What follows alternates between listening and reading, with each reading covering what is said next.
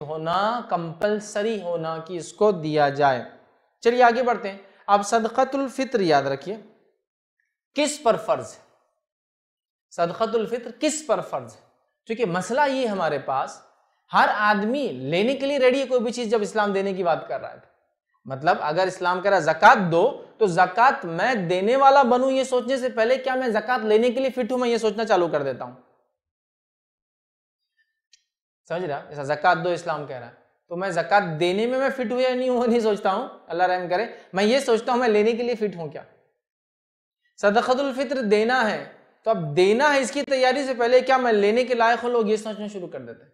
और अल्लाह रहम करे, मैंने देखा हूँ, लोग जिनको अल्लाह रब्बुल ने हाथ पैर दिए सलामत जिस्म दिया, ताकत तवानाई दी, मेहनत मशक्क़त करते हैं, खुद के अपने घर है और वो सदक़तुल फित्र लेने निकलते हैं।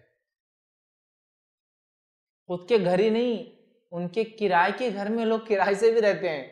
मतलब घर एक्स्ट्रा है जिसको रेंट पर दे दिया और वो सदक़ातुल फित्र लेने निकलते हैं, चूँकि वह कहते हैं, हम ख़ानदान दर ख़ानदान से फितरा जमा करने वाले लोग हैं। जिसको आम अल्फाज में कहो तो इसका माना क्या है? हम ख़ानदान दर ख़ानदान से लोगों का हक मारते आए हैं। देना है, लेना नहीं है।